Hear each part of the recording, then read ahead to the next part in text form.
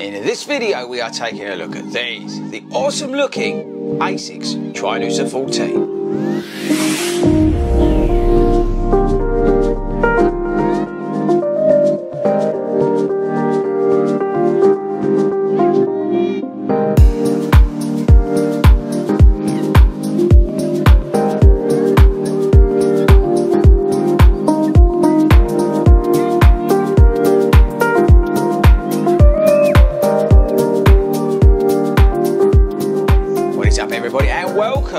To Tri Noosa HQ. I'm just undoing the shoelace on my 14. The amazing thing with these shoes, because they're like for triathlons, you can literally just slip them on and slip them back on again, which I wouldn't recommend doing people because you do ruin your shoes, but oh my god, these are so comfortable. Right, okay. 14th version's out. Uh, we've got 13 here. Uh, we're going to talk about the differences between the two. I'm going to let you know uh, how I've been getting on with it. We've gone over 20 miles now in the shoe. Uh, I'll explain why that is in a mo. Um, but let's do the stats and features quickly first. Okay, people, so yes, this is the Tri Noosa 14, the new version of the uh, very popular uh, triathlon ish shoe um, from ASICS. It's very funky looking, as you can see, and they do some amazing colorways in it. It's kind of uh, an EvoRide ish. Uh, if you think about the road running shoes, but the idea is is that it is a tri shoe, so you know all the different activities in the triathlon, uh, and you can wear this sockless. It's comfortable to wear it sockless. Uh, we've got five mil drop in the shoe. I got this with my own money for under a hundred pounds here in the UK. Uh, we've got FlyteFoam uh, midsole. We've got a nice rocker in the shoe, uh, breathable-ish mesh upper, full length gusseted tongue. Uh, yeah, full length gusseted tongue. Weight 8.1 ounces in UK nine and a half. So what's that? 300 grams. It's a complete guess. Uh, actually, it can't be 300 grams. It's got to be less than that. Um, what else? What else? What else? Oh, outsole uh, again very similar to an EvoRide in terms of the rubber uh, coverage on the. Is it AHAR Plus? Doesn't say actually. Probably should have checked before we did the video, but we've got a decent rubber coverage on the outsole. Uh, what else with the shoe?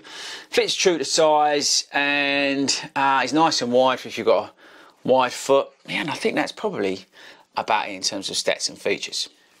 Now, if we compare the two shoes, uh, can you see? Can you see what the camera close? Um, very similar-ish. Uh, slight detailing changes to the back. I've lost the pull tab, and I would say a more traditional-looking shoe. Is that the right word? But it definitely feels more rockered, and it definitely feels softer than that version. Uh, this is not a soft shoe in any shape or form. The FlyteFoam midsole is not soft, but it definitely does feel softer than this version.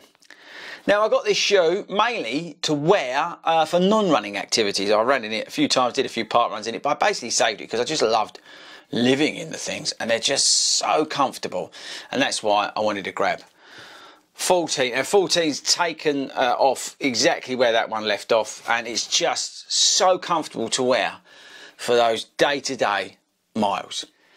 Now the shoe uh, has done a multiple of different activities. I would say um, it's topped out at 10 miles at the moment in terms of distance um, for length. Um, not overall, I said I've done over 20 miles in the shoe, but uh, I've not really wanted to take it past 10 miles. Just seen no point in it really. I've been using it for easy work, faster work, um, progressive work, just a bit of everything.